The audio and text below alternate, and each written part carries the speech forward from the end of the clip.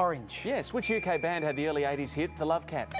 Phil. The Cure. Yes. Name an Olympic apparatus performed by both male and female gymnasts. Phil. Floor. Yes. Which day is the anniversary of the crucifixion of Jesus? Andrew? Uh, Easter, Good Friday. Andrew, Good Friday is the answer.